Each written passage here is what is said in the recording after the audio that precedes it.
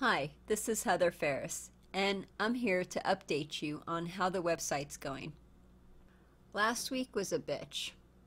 I had a really difficult time last week. I was hitting my head against the wall multiple times. I was very frustrated. I couldn't get anything to work properly. I was pretty mad. You can see how in the desktop version there are boxes. You have like, you know, the bigger box, the smaller box, that kind of thing. Well, they wouldn't align properly when you shrunk the screen down uh, to fit a tablet or to fit a cell phone. What they would do instead is they would stack on top of each other, so there was a lot of white space, and it looked really awful and it was really horrible. And pretty much no matter what I tried, I couldn't get it to work. And then, of course, finally, after trying everything, I would just be like, screw it, I'm just going to try this. And I would finally get it to work, but it would take like two days or three days. So um, it really was very crappy last week.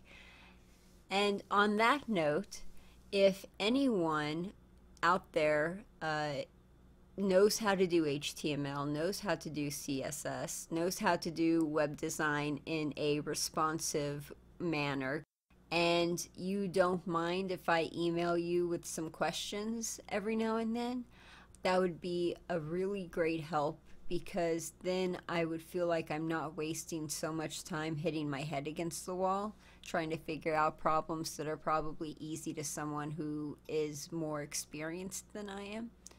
So if you could do CSS or HTML and you're willing to help out, then please send me an email. My email is heather at vegas-aces.com.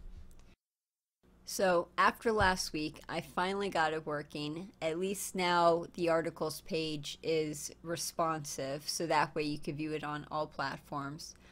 And if you notice the numbers on the lower right hand corner, it's either red, yellow, red numbers or it's yellow numbers.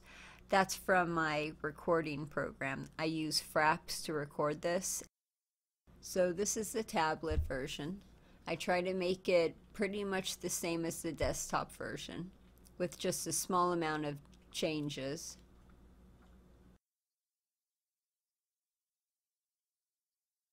This is for a large phone you can see the menus working. I had some trouble with the menu, but I got it working.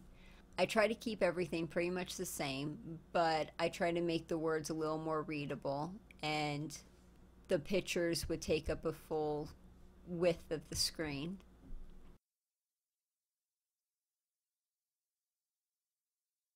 And this is what it looks like on a small phone. You could see the menu works. Like I said, I had some trouble getting it to work. I have everything stacked in a column and pretty large so you, hopefully you could see everything. So that does it for this week. If you have any suggestions, please write them in the comments section below. And thank you so much for watching. I really appreciate it. Have a good day. Bye.